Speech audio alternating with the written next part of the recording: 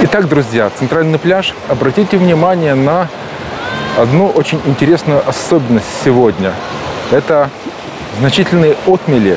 То есть это не основная территория суши, не основная территория пляжа, а вот отмели, которые начали появляться на мелководье в море. И они не в единичном количестве проявляются, а вот так вот массово. То есть на протяжении всего центрального пляжа, ну почти всего. Вот это мы с вами стоим, смотрим с морского причала в сторону речки Анапки. И вот здесь, если мы посмотрим на другую сторону, здесь у нас происходит ровно то же самое. То есть это получается не какая-то случайность, которая возникла в результате там какого-то да, шторма, в результате изменения рельефности, а это получается прямо-таки закономерность. Видите, вот островки, островки в море возле берега. Получается, что у нас море мелеет или как? Прямо интересно. Напишите, пожалуйста, в комментариях, что вы думаете по этому поводу.